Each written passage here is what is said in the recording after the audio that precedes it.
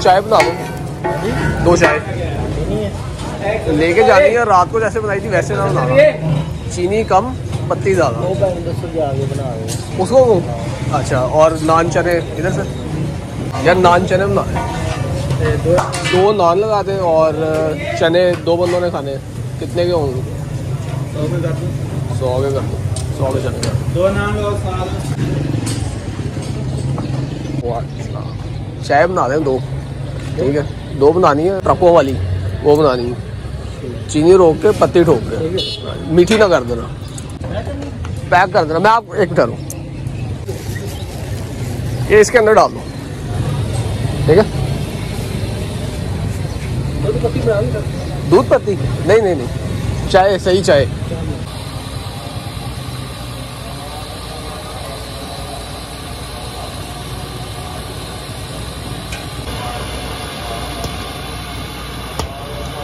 Cylinder वाला जो है, उसके घर पे कोई मसला हो गया था तो वो हॉस्पिटल गया हुआ है। तो गैस जो है, वो ख़त्म हो गई है, इसलिए नाश्ता जो है आज वो बाहर से ही कर रहे हैं। नान चने जो है, वो ले ली है और चाय जो है, वो भी बाहर से ही आज चलेगी।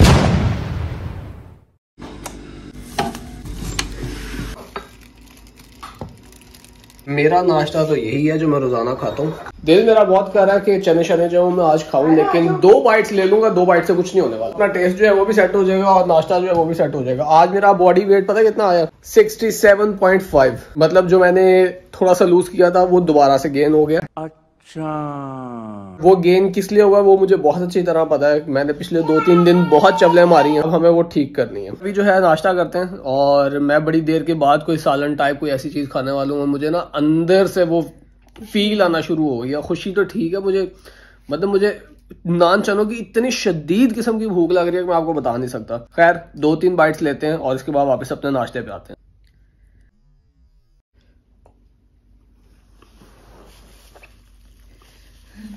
फ़ाइल लगा है। फ़ाइल भी लगा है। मज़ा आ गया सुकून मिल गया। यार। रात को आपको क्रेविंग हो रही थी ना दाल की? शदीद क्रेविंग शदीद। उफ। डाइटिंग ऐसे फ्लेक्सिबल होनी चाहिए कि जब आपका दिल करे तो हल्का फुल्का सा कभी खा ले कोई मसला ना हो। मेरा तो थोड़ा जरा ज़्यादा एग्रेसिव कट था इस वजह से मैं खा नहीं रहा था। चाय की शक्ल शायद आपको इतनी अच्छी ना लगे लेकिन बाकी बातों की बातें हैं। चाय के अंदर ना एक बड़ी वखरी किस्म की खुशबू आ रही है। वो जो उसने इलायची डाली थी ना वो बहुत ही मज़े की लग रही है। और खाली इलायची नहीं मतलब वो जिस बर्तन में बनाते हैं ना उसमें चाय बनती रहती है जलती रहती है। तो चाय का जो टेस्ट होता है ना उसमें रज बस गया होता है। अभी चाय इतनी वो मज़े की लग रही है। ओए ओए ओए। यार, मैं अभी निकला वॉक करने के लिए वीकेंड पे बड़ा मुश्किल हो जाता है। सारा हफ़्ता काम करके वीकेंड पे फिर बंदा कहता है कि यार, बस चली ही करें। लेकिन अगर आप बेड पे बैठ जाओ तो बस फिर बैठ गए। जब तक बाहर नहीं निकलोगे, तब तक मज़ा नहीं आता। और वीकेंड पे मेरे ख्याल से ज़्यादा एक्टिव रहना ना बेहतर है। और ज़्यादा एक्टिव रहते हैं, अगर आप स्टिफ हो जाए, अगर आप बैठ जाए तो फिर बड़े प्रॉब्लम शुरू हो जाते हैं। कोई ना कोई पेंशन निकलती रहती है उन लोगों को जो हैवी वर्कआउट्स वगैरह कर रहे होते हैं। आज का गोल ये है कि कोई 10 से बारह हज़ार स्टेप्स जो है वो चलने हैं। तीन हज़ार हो चुके हैं, और अभी तक कोई पसीना वसीना नहीं आया। जो लोग पैदल चलते हैं ना, उनके लिए ये एक मैसेज है कि हमेशा जहाँ से गाड़ी आ रही है ना, आपने उस साइड पे चलना है। ताकि आपका वीएन जो है वो क्लियर हो। अगर मैं उस साइड पे चल रहा हूँ तो यहाँ पीछे से गाड़ी जाएगी और मुझे पता भी नहीं चलेगा। तो हमेशा जहाँ से गाड़ी आ रही है ट्रैफ़िक आ रही है उसकी ऑपोजिट डायरेक्शन जो है हमेशा वहाँ पे आपने चलना है।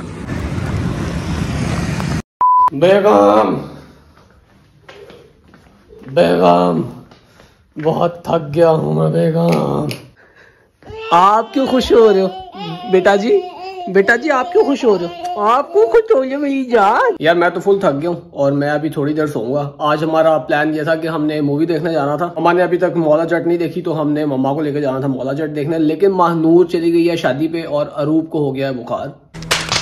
तो अब मेरा नहीं ख्याल कि हम लोग कोई मूवी शूवी देखने जाएँगे, लेकिन हो सकता है कि मैं मम्मा की तरफ़ जाऊँ। तो अभी सो के उठता हूँ, फिर देखते क्या सीन यहाँ पे रेसिपियाँ चल रही हैं। आप ना रेसिपी निकाल रही है यूट्यूब से क्योंकि घर में गैस अभी तक नहीं आई गैस वाला बंदा अभी तक नहीं आया तो हम मैंने इसको बोला कि यार जो खाना बनाना है ना वो एयर फ्रायर में जो बनता है वो बना दो। चिकन जो है वो अब निकल आया। क्या बना रही है फिर वैसे? पेरी पेरी चिकन मैं अभी ना अपनी एल्बो का रिहैब कर रहा हूँ और चेक करना आयरा इधर ही है। इसने मुझे एक्सरसाइज नहीं करने देनी और चेक करना ये करती क्या?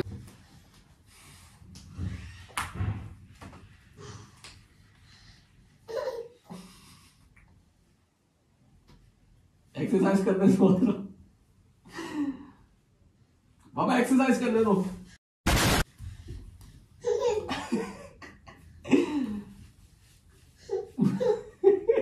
प्लान में थोड़ा सा चेंज आया। हम पहली पहली चिकन नहीं खा रहे क्योंकि नाक नूक मेरा पहले ही बंद है और वो जितने को स्पाइसी सॉस है ना, मैं तो वो बिल्कुल नहीं खा सकता।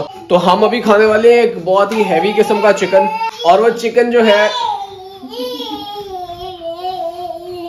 हाँ ये कर लो पहले। चिकन जो है वो चीज़ वाला होगा अभी मैं आपको दिखाता हूँ बड़ी हैवी किस्म की रेसिपी है ये पहले भी बनाया था मैं आपको दिखाता हूँ। यहाँ पे चीज़ हो रही है क्या हो रही है? क्रश ओके ये हमारा चिकन है इसके ऊपर अभी लगेगा लहसुन पाउडर नमक साल्ट साल्ट डाले डाले ये डाल रहा जी पार्सले अब हम डालेंगे black pepper black pepper butter और चीज़ का कॉम्बो जो होता है ये डाल गया बटर थोड़ा ही डालना ज़्यादा ना बस बहुत है ये ज़्यादा है कम रखो। ओए ओए ओए क्या जालिम चीज़ बनती है यार ये?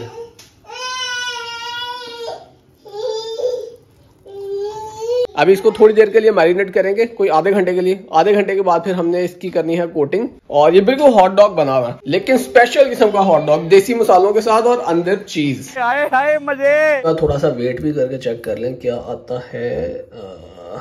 144 में थोड़ी सी चीज़ भी है तो मेरा ख्याल है कि 110 टेन टू वन ट्वेंटी के आसपास जो है ना वो खाली इसमें चिकन है। इससे छोटा पैकेट यही है। गैस वाले भैया जो हैं वो फाइनली आ चुके हैं। दो दिन के बाद उनका ज़रा थोड़ा सा मसला था। हमने गुजारा कर लिया दो दिन जैसे करना था। अब जो है वो गैस आ गई है फाइनली तो चाय शाय जो है वो घर पे बनेगी। बाकी खाना जो है वो भी घर पे बनेगा। नहीं। ये कुछ चीज़ें लेनी थी मैंने वो मैं ले आया हूँ। हाँ जी। अबे यार छह अंडे हाँ एक एक चीज़ कोई हाल नहीं है वैसे तुम्हारा आरफा का और मम्मा का ना दोनों का एक ही सीन है। एक बारी जब मैं जा रहा हूँ तो मुझे सारी चीज़ें नहीं बताएँगे कि लेके आनी है। पहले एक लेके आऊँगा फिर मुझे दोबारा मिलेगी ये भी नहीं है ये भी ले आओ। वो लेके आऊँगा फिर कहेगी ये चीज़ नहीं है ये भी लेके आओ। दो दिन के बाद अपने घर की चाय पीनी है मैंने। एक तो यार चीज़ें लेके आओ ऊपर से बीवी की ना बातें सुनो। कह रही है जो तुम लेके आए वो सही नहीं है। मतलब ब्रेड क्रम्स ये वाले नहीं लाने थे वो वाले लाने थे टमाटर ये वाले नहीं लाने थे वो वाले लाने थे। मैंने बोला क्या और क्या हाँ? तो आप खुद भी साथ चली जाया करें ना। ये हमारे आगे ब्रेड क्रम्स ये है हमारा मैदा ये है हमारा अंडा। एयर फ्रायर रेडी हो चुका है। ये टॉफी अब तुमसे नहीं खोलनी। क्या हुआ बेबी आपको गुस्सा आ गया? हैं? गुस्सा आ गया मेरे को।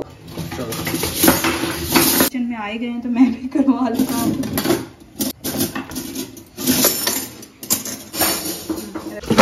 temperature 200 one eighty ten minutes पे लगा दूँ? यार ये मैंने आत्मा को कहा कि इसको ना शवारमे में लगा के ले आए ये चेक करो उसने क्या किया। यार एक बड़ी फनी किस्म की चीज़ है मैं आप लोगों को अभी दिखाता हूँ। मैं क्योंकि बोर हो रहा था तो मैंने सोचा मेरे कोई दोस्त है वो ना इंस्टा के ऊपर ये कर रहे थे तो मैंने सोचा कि मैं भी इसको ट्राई करता हूँ। जैसा भी होगा बर्दाश्त कर लेना बस थोड़ा इत, इतना सा होगा बस बर्दाश्त कर लेना ठीक है भाई के साथ।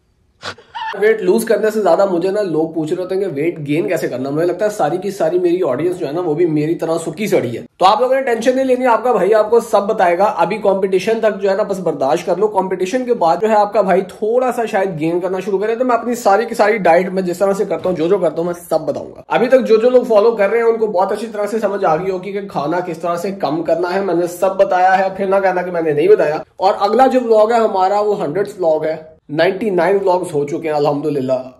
जो नेक्स्ट व्लॉग है, वो हंड्रेड व्लॉग है कल। और वो अभी तक मैंने प्लान नहीं किया हुआ, लेकिन मैंने ये सोचा है कि कुछ स्पेशल होना चाहिए तो ममा वगैरह जो है, वो भी इस व्लॉग में होंगे, और इनशाला हम कुछ ना कुछ स्पेशल करेंगे। आज का जो व्लॉग है, इसको मैं कर रहा हूँ यहाँ पे खत्म। जो गाना गुना गाया है, अगर किसी को बुरा लगा हो तो उसके लिए मुझे माफ़ कर देना। आप लोगों से मिलूँगा नेक्स्ट व्लॉग के अंदर। अपना ख्याल रखना दुआ में याद रखना। अल्लाह हाफिज।